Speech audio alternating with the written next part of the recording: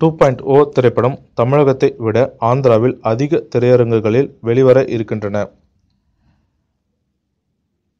Two point ஓ திரைப்படத்தில் ரஜினி விஞ்ஞானி மற்றும் ரோபோ ஆகிய இரண்டு வேடத்தில் நடித்திருக்கிறார். வில்லனாக அக்ஷய்குமார் நடித்திருக்கிறார்.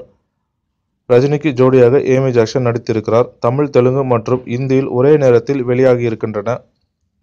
டூ பாயிண்ட் ஓ படத்தில் முந்தைய பாகமான எந்திரன் திரைப்படம் ஆந்திராவிலும் அமெரிக்காவிலும் வசூலை வாரி குவித்தது. இதனால் தமிழ்நாட்டை விட தெலுங்கானா மற்றும் ஆந்திராவில் அதிக திரையரங்குகளில் டூ பாயிண்ட் ஓ திரைப்படம் வெளியாகி இருக்கின்றன. அகில இந்திய அளவில் பாக்ஸ் ஆஃபீஸ் வசூலில் தமிழைப் போல் தெலுங்கிலும் நல்ல வசூல் கிடைக்கும் என்ற எதிர்பார்ப்பால் டூ பாயிண்ட் ஓ திரைப்படம் தெலுங்கில் அதிக திரையரங்குகளில் வெளியாக உள்ளது. ஆறுநூறு கோடி செலவில் லைகா நிறுவனம் இந்த படத்தை பிரம்மாண்டமாக தயாரித்துள்ளது.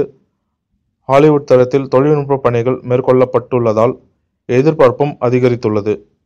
மேலும் இதுபோன்ற தகவல்களுக்கு ஆர்என் மீடியா தமிழ் யூடியூப் சேனலை பார்க்கவும். நன்றி வணக்கம்.